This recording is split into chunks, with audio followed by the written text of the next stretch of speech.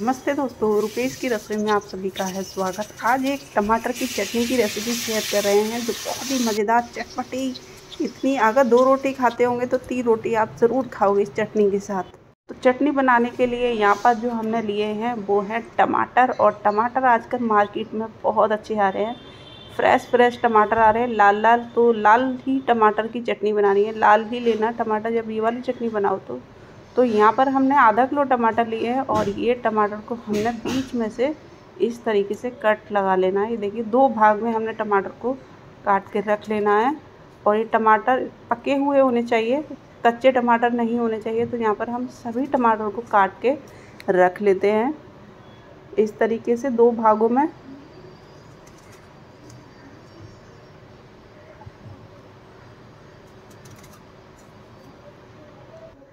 तो हमने यहाँ पर सभी टमाटर को कट करके रख लिया है। अब लिया है हमने एक तवा, लोहे का तवा है और ये मोटे तले वाला होना चाहिए तवा।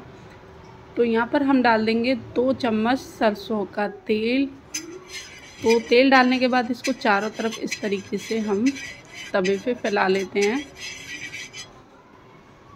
और ये जब टमाटर आप पकाओ तो कोशिश कीजिएगा आपके पास लोहे की कढ़ाई या तवा पे आप ये टमाटर को पकाइएगा। बहुत स्वादिष्ट चटनी बनती है। तो यहाँ पर मैं इसको इस तरीके से रख देती हूँ। टमाटर को, सभी टमाटर को रख देती हूँ। तो यहाँ पर जो हमने पहले इसको टमाटर को एक साइड से जो है ना हल्का सा एक से दो मिनट के लिए पका लेना है।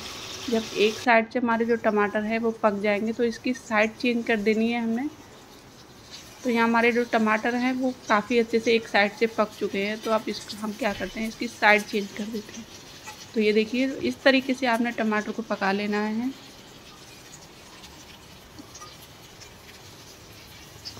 तो बहुत ही टेस्टी चटनी बनती है ये। तो यहाँ पर मैंने एक साइड से पकाने के बाद मैंने दूसरी साइड से भी पका लिए अब इनको प्लेट में निकाल लेते हैं।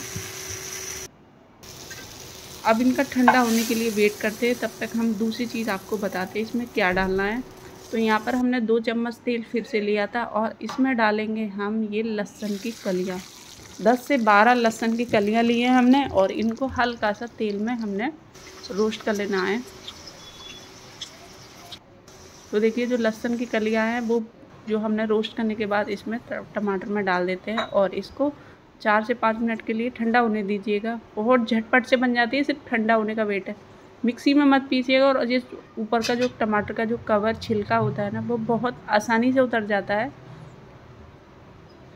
पकने के बाद टमाटर बहुत आसानी से छिलका उतर जाता है। इसका तो इस तरीके से हमने सभी छिलके को उतार के रख लेना है।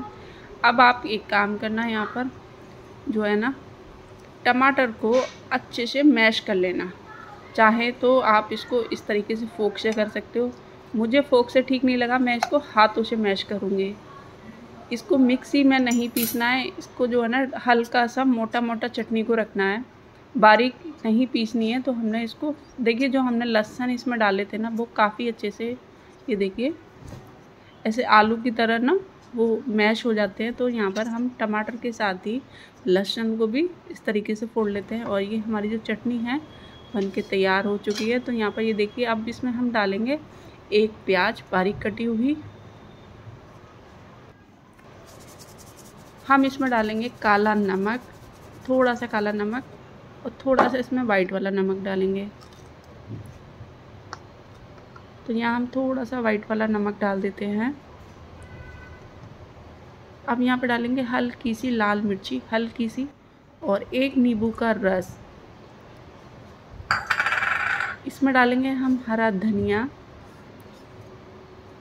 इसको कर लेते हैं मिक्स।